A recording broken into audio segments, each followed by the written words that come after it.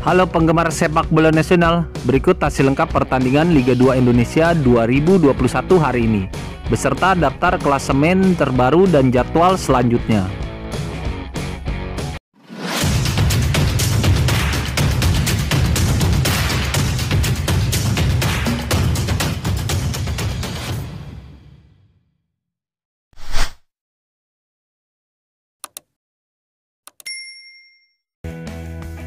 Berikut hasil pertandingan Liga 2 Indonesia hari ini pekan ke-8 Selasa 16 November 2021.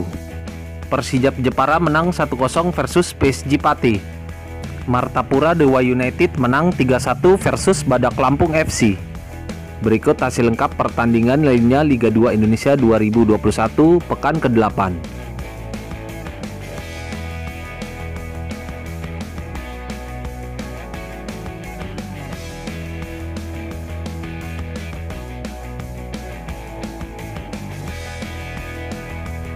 Berikut klasemen Liga 2 Indonesia musim 2021-2022.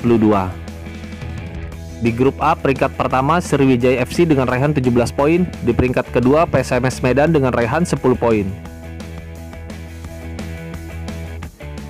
Di grup B peringkat pertama Dewa United dengan raihan 21 poin, peringkat kedua Persekat Tegal dengan raihan 14 poin. Di grup C, peringkat pertama Persis Solo dengan raihan 15 poin, peringkat kedua PSM Jogja dengan raihan 13 poin. Di grup D, peringkat pertama Sulut United dengan raihan 11 poin, di peringkat kedua Persiba Balikpapan dengan raihan 11 poin.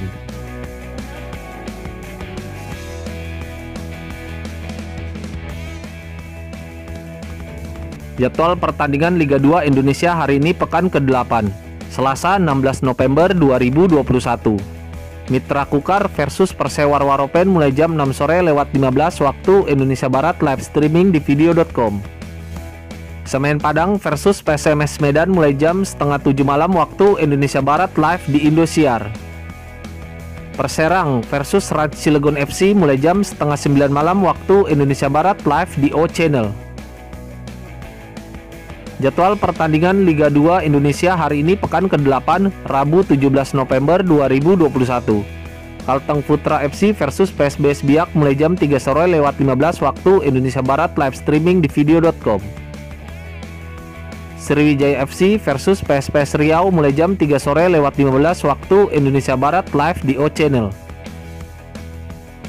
Sulut United versus Persiba Balikpapan mulai jam 6 sore lewat 15 waktu Indonesia Barat live di O Channel.